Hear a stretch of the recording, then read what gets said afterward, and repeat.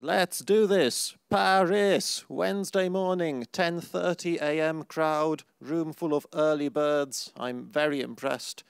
And if you're from the future watching this on YouTube, I want you to also be very impressed with the people here.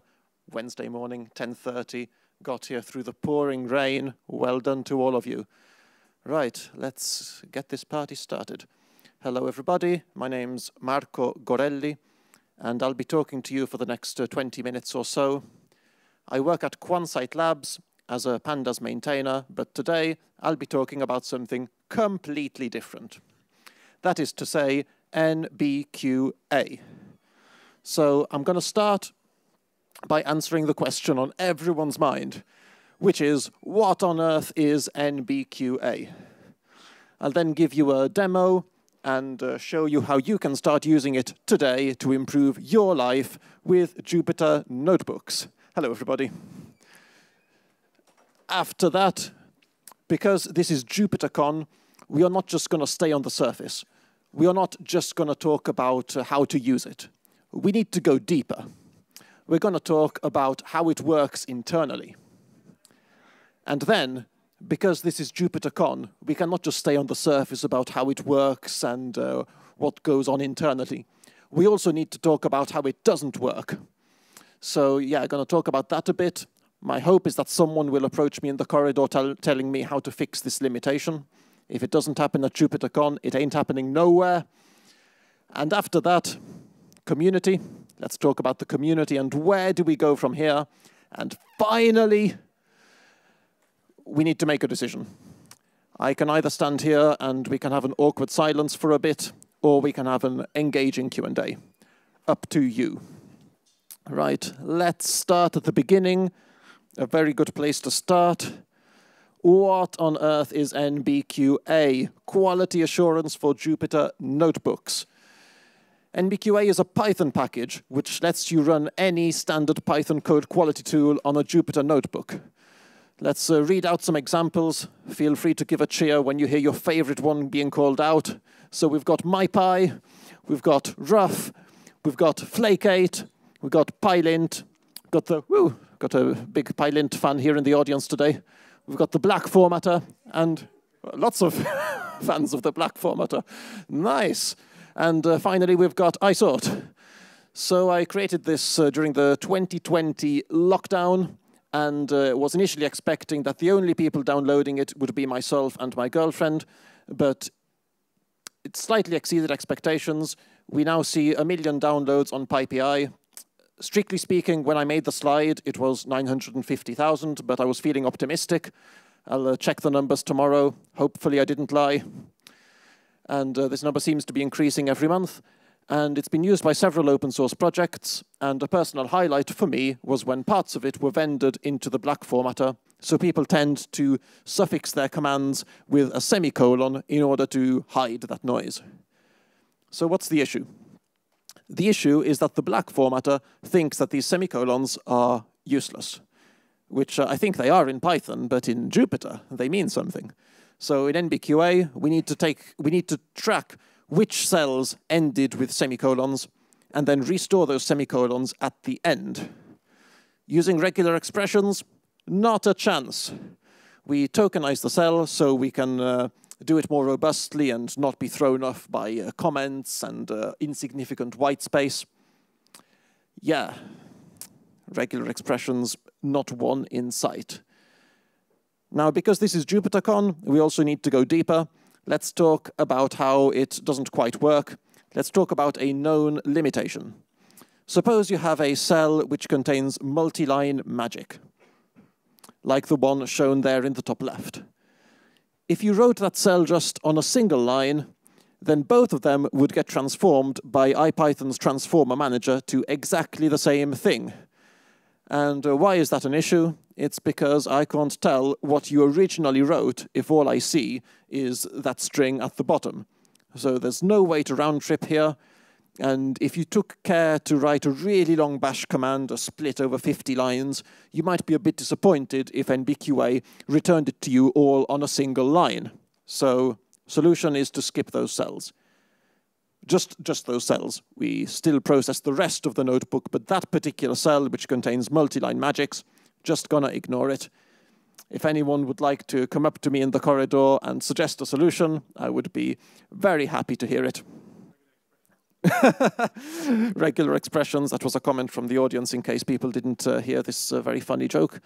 So, yeah, community, that's what we're here for, not just the technology, but the community. So let's talk about the NBQA community.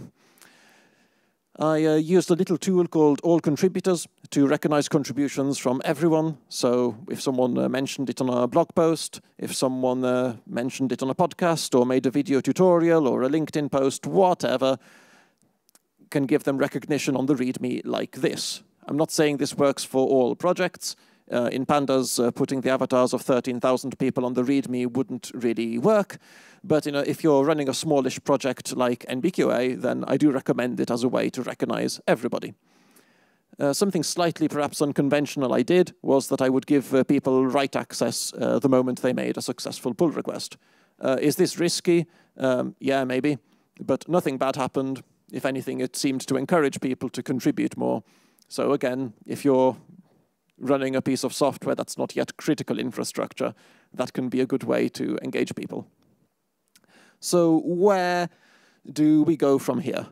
Some of you might have heard of an amazing Python tool called Rust, sorry, called Ruff, which is written in Rust. And like all Rust projects, it's blazingly fast and uh, seems to be replacing every other code quality tool. Is it going to replace NBQA? Given this comment by the author, maybe. Uh, but that's okay. I'd be honored if someone uh, thought it worthwhile to rewrite this thing in Rust. But in the meantime, I'd like to think it's still relevant.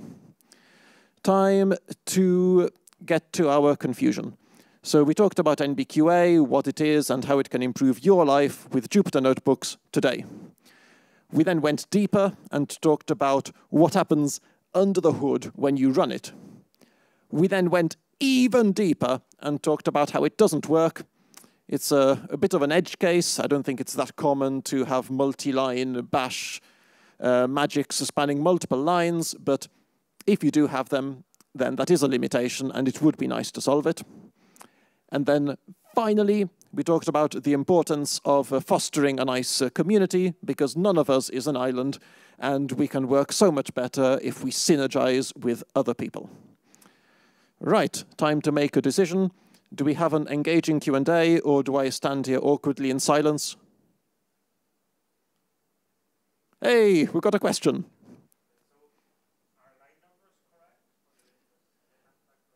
That's a fantastic question. Are line numbers correct? So we do take care to record the um, which line in which cell corresponds to which line in the temporary Python file. So then we can map back. Uh, this is also a reason why we can't support multi-line magics, because otherwise we just uh, don't uh, know what line things correspond to. So when, uh, when we present the output, we do write it as cell number and then line number, rather than just line number.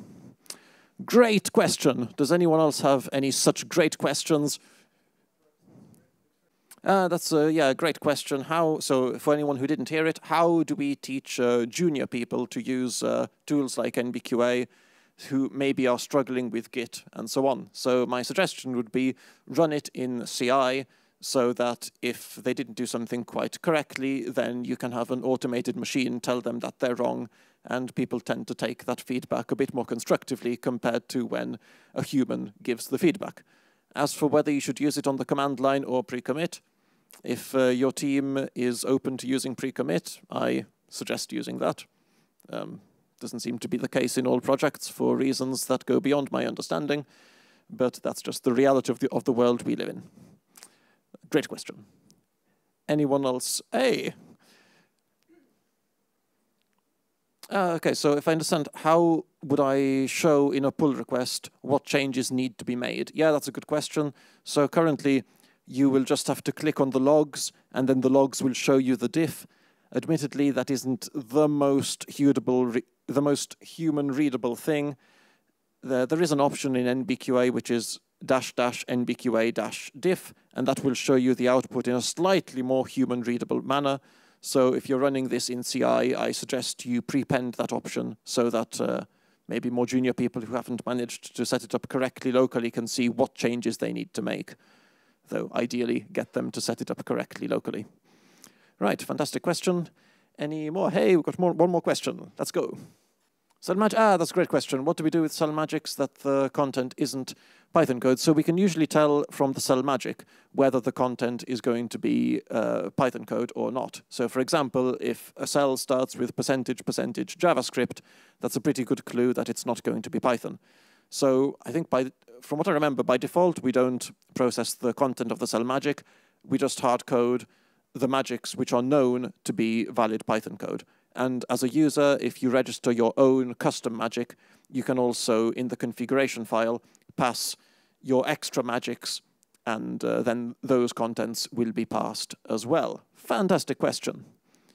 Um, don't really know how we're doing for time. I'll just just, just keep taking questions until someone tells me to stop. 10 to, okay. Um, yeah, let's take, yeah, whatever. Let's take, let's keep going. Thanks. I did not know that, and that's an advantage of giving such a presentation at JupyterCon. You learn new things, new solutions to problems. Great, it's already been worthwhile. Thank you for that uh, comment. Uh, I can see, I think there's a hand up there in the back. I can't see so much because it's not illuminated, but yeah. Uh, currently, it's just limited to Python, I'm afraid. But it'd, it'd be pretty cool to extend it. Uh, having said that, if you have a Python code quality tool that runs on a different language, you could use that. Like uh, Prettier? Yeah, like that. Uh, that one will run on like JavaScript and lots of other things. That one, you need you need to be able to run it through Python. But if you do that, it should work. And you can also uh, run. Um, you can pass the dash dash nbqa dash shell option and then you can run anything that's just available in your shell, but that's totally um, up to you to support it. Uh, right, from down in the back, I can't tell if you're scratching your head if, or if you've got a question. Awesome. Controversial, fantastic, let's do this. What do I think about semicolons? Yeah, you could do. Um, yeah, as a user, you could do that. So instead of having to put a trailing semicolon, you could just assign the command to some uh, dummy variable, some placeholder variable. But uh, as a uh, code quality tool, I can't make assumptions about what my users are going to do, so need to handle both cases. I think we had a question from this side of the room. Yeah. Ah, that's a great question. Yeah, so there are some tools that support reading directly from standard in. And the reason I didn't uh, use that is because I didn't want to assume that all tools would be able to do that. But yeah, maybe I can do a fast path for tools that do support that. Yeah, contributions would be welcome, and uh, I'll put your avatar in the README. Hey. Ah, that's a great question. Yeah, so uh, yeah, Flake 8, it uh, reports lots of uh, nitpicky things, and do we really want to have to obey all of them when we're running Jupyter notebooks, maybe not. So in the README, in the example that I give of running Flake 8, I do have some recommended rules to ignore. Maybe it's not enough. And yeah, if uh, anyone from the community wanted to suggest more rules to ignore and make a pull request and get uh, the avatar featured on the README, then uh, you'd be more than welcome to do so. Cool. Uh, shall we take a break? Or any last Oh, uh, sorry, I may have misunderstood the question. What do I want to implement next? Um, no, not really. I think it's kind of finished. It uh, solved a problem which I had, and now I don't use Jupyter Notebooks anymore because I'm now a software engineer rather than a data scientist. So happy to keep maintaining it if uh, bugs are reported, but I don't uh, have a huge desire to uh, implement new features or change the direction massively. Uh, if anyone did, then I'd be happy to hand over maintainership. yeah. Uh, yeah, well, I mean, I've uh, kind of had to come to terms with it already. Like, you know, I work on pandas for a living, and uh, Polars is a data frame library written in Rust, which is uh, superior in virtually every respect. So I think uh, you just have to come to terms with the fact that better tools are going to come uh, along. And uh, yeah, I'm learning Rust. Cool. Let's uh, let's take a break. Cool. Thank you very much. You've been a fantastic audience, Paris.